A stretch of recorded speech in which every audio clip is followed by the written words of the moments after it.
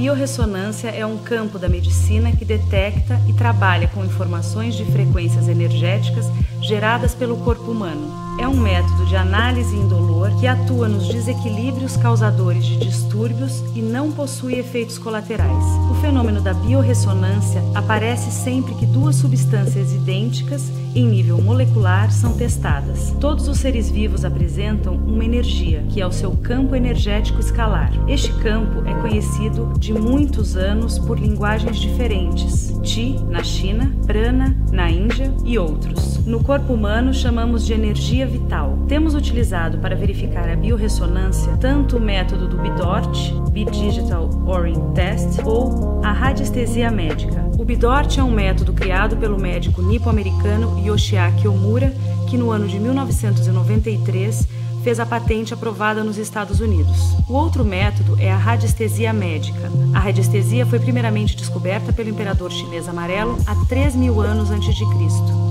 Ele foi, portanto, o primeiro radiestesista. O método milenar se desenvolveu em vários países, principalmente na Inglaterra e França. A radiestesia utiliza os seguintes aparelhos: pêndulo, forquilha e dual rod. Nos Estados Unidos chegou a formar a Sociedade Médica de Radiestesistas, que, com a forte oposição dos médicos que não participavam, acabou se dissolvendo. Na Inglaterra foi criada uma especialidade médica com o nome de medicina psiônica, criada pelo Dr. George Lawrence em 1965, onde realiza os diagnósticos clínicos com o uso do pêndulo. Nos dias de hoje, a radiestesia é usada para aplicar os seus conhecimentos na área da energia quântica.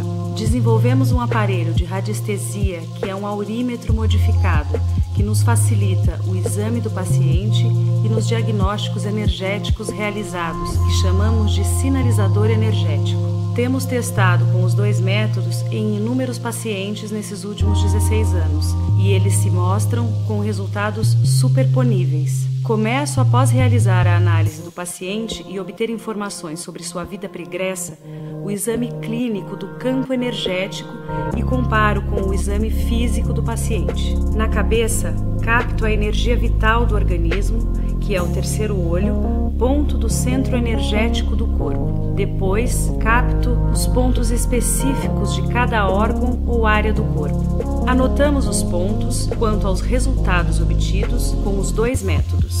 Esses pontos também coincidem na medicina psiônica como áreas energéticas escalares boas nos pontos orgânicos saudáveis e as áreas ruins nos pontos com energia alterada, que correspondem aos distúrbios funcionais ou orgânicos dos órgãos. Temos procedido à desintoxicação do organismo, isto é, retirada de metais pesados e agrotóxicos, em níveis elevados, mas não em nível de intoxicação. Baseamos em trabalhos publicados que assinalam que esses elementos alteram muito a função enzimática do corpo humano. Uma outra coisa que não tem sido citada pela medicina tradicional é a carga negativa escalar de diferentes vírus que são associados, quando presentes, com distúrbios clínicos com os sintomas mais variados. Estes testes com os vírus são referidos pelo professor Yoshiaki Omura como a presença do vírus no local, do qual acreditamos ser mais a frequência do vírus e não sua presença. Um exemplo: o indivíduo apresenta uma infecção com o quadro viral de herpes zoster. Fez uso da medicação antiviral aciclovir ou penvir. Estas bloqueiam a proliferação do vírus, que resulta na melhora das lesões vesiculares, controlando o quadro, mas o paciente fica com dor pós-herpética, que decorre da energia negativa do vírus. Isto quer dizer que a medicação não combateu a memória imunológica do vírus, que presente determina a dor pós-herpética. Nós vamos agora fazer uma demonstração de como eu faço o exame físico do paciente do ponto de vista de energia. A primeira coisa, eu meço a energia vital, que é uma medida que eu pego no terceiro olho. Só que isto tem que ter mais distância, mostrando energia vital do paciente. Aqui não tem a distância suficiente. Então eu vou fazer a avaliação dos diferentes órgãos eu começo examinando os seios da face. Então, pego aqui os seios da face, eu estou mostrando anti-horário, o movimento anti-horário. Aqui pego o movimento para cima e para baixo e estou pegando o movimento anti-horário. Isso quer dizer o seguinte, ela tem os seios da face, no momento, mais inflamados do que está a rinite. Então tem um processo inflamatório nos dois seios da face. Isso aqui precisa um, um exame depois melhor para ver se não tem bactérias aqui. Vamos continuar. Depois disso, eu venho para a tireoide. Então eu observo.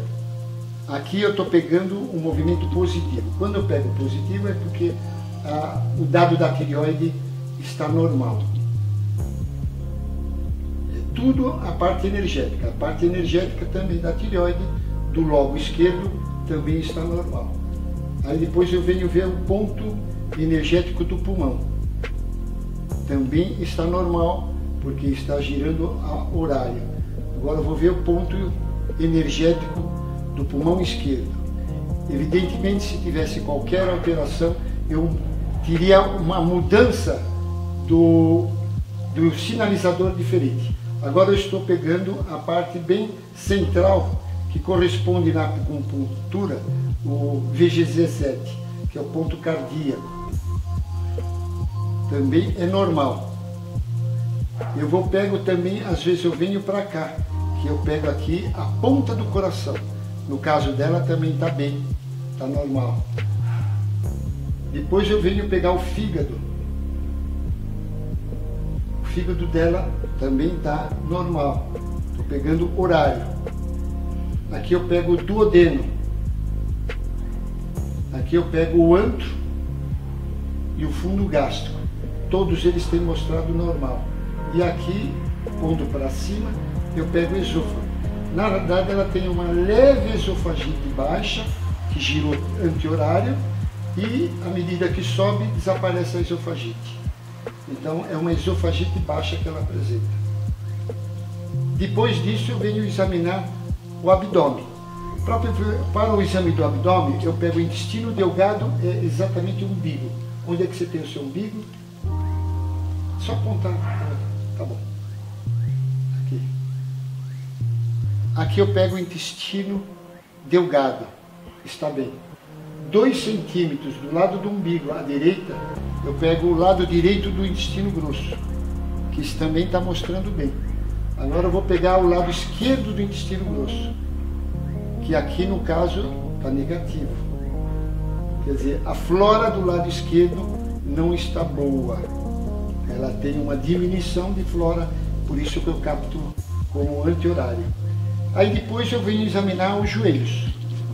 Então, eu pego aqui a área de menisco do joelho. Está bom no joelho direito. Aí depois eu vou pegar a área de artrose. Aqui está bem, aqui está bem, Neste ponto há um desgaste, mesmo que esteja sem manifestação, mas existe um desgaste. E aqui para cá melhora. Olha aqui, esse é o ponto que muda. Aqui tem um pouco de desgaste de artrose iniciando.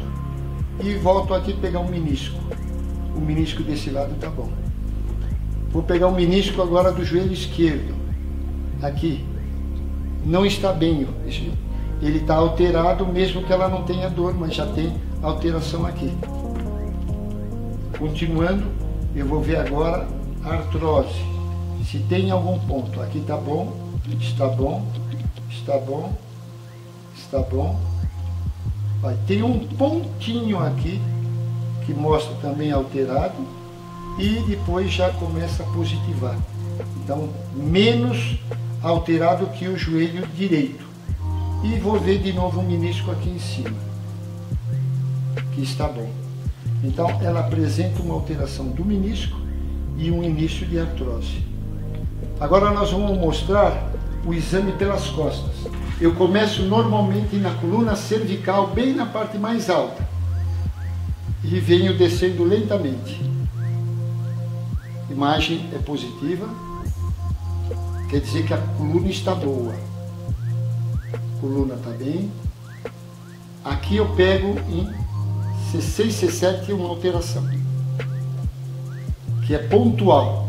Então essa alteração sugere já um problema ligado à provável hérnia.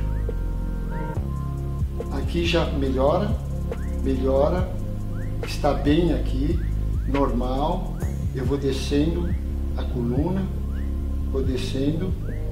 Aqui já começo a pegar alguma alteração. Essas alterações às vezes são de postura não adequada ou forçando demais essa coluna e principalmente aqui. Você tem dor aqui? Tem. Tem. Tá aqui, ó.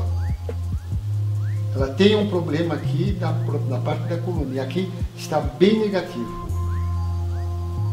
Para baixo já alivia. Quer dizer, é mais ou menos que ela tem alteração em L5S1. É alteração. Aqui é mais ou menos L4 L5. Não tem. É L5S1. Essa alteração pode corresponder a uma hérnia ou pode corresponder a um, uma espondilolistese que está deslocando a, o corpo vertebral um sobre o outro. E assim a gente vê a parte de coluna. Eu, ainda das costas, eu examino musculatura, para ver se está com tônus adequado. Essa musculatura aqui está com tônus um pouco aumentado. Ela não está mostrando negativo, mas ela está mostrando isodifásico, mostrando que ainda não está 100%. Aqui a musculatura já está bem é normal. Vou do outro lado, fazer a mesma coisa, a mesma coisa aqui. Essa musculatura não está totalmente normal, está um, um pouco, um tônus aumentado e a partir daqui está normal. E com isso termina o exame da coluna.